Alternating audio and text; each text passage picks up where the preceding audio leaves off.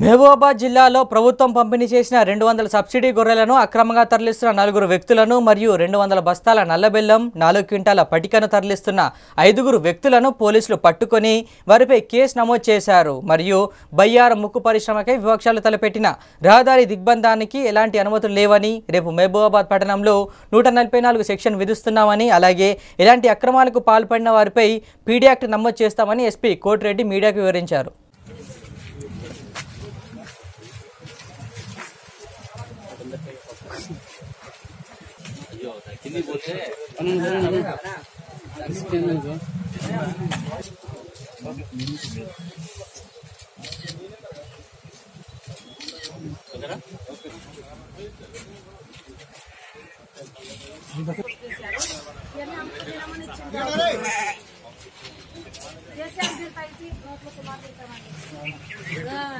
గొల్లలకేమో ఇచ్చిండు మాకేమో ఒక రూపాయి తీసుకొచ్చాం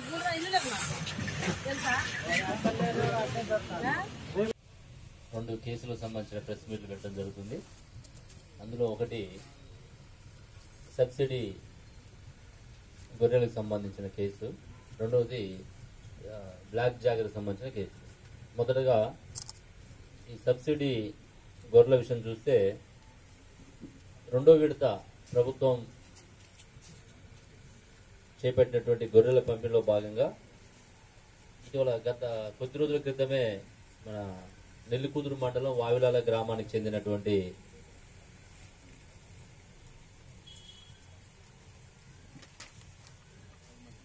పది మంది లబ్ధిదారుల నుంచి సుమారుగా ఒక రెండు వందల గొర్రెలని కాంపెల్లి సీరోల్ పోలీస్ స్టేషన్ పరిధిలో ఉన్నటువంటి కాంపెల్లి గ్రామంలోని రామదాస్ మరియు మంగిలాల్లో కొనాలని చెప్పేసి ఒప్పందం చేసుకోవటం.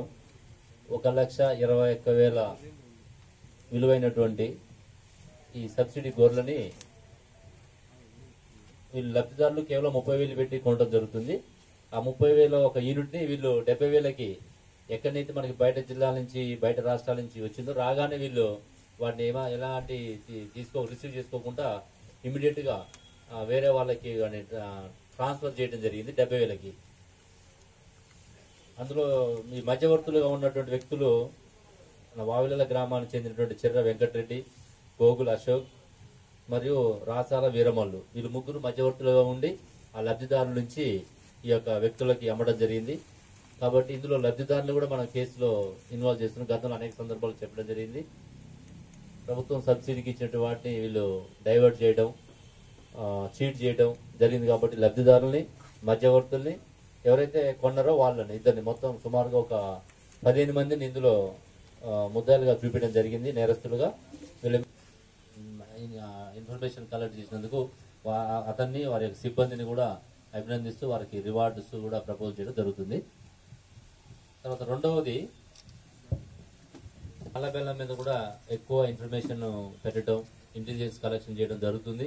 మనకి ఈ చిత్తూరు ఆంధ్రప్రదేశ్లో చిత్తూరు నెల్లూరు ఏరియా నుంచి మనకి ఒంగోలు ఏరియా నుంచి ఈ బెల్లం రవాణా ఎక్కువ జరుగుతుంది. మన దగ్గర గుడుంబ రైతు జిల్లాగా ప్రకటించుకున్నప్పటికీ కూడా ఇంకా మార్మల ప్రాంతాల్లో ఈ గుడుంబ తయారీ జరుగుతుంది అనడానికి ఈ బెల్లం రవాణానే మనకు ఒక నిదర్శనం అనుకోవాలి.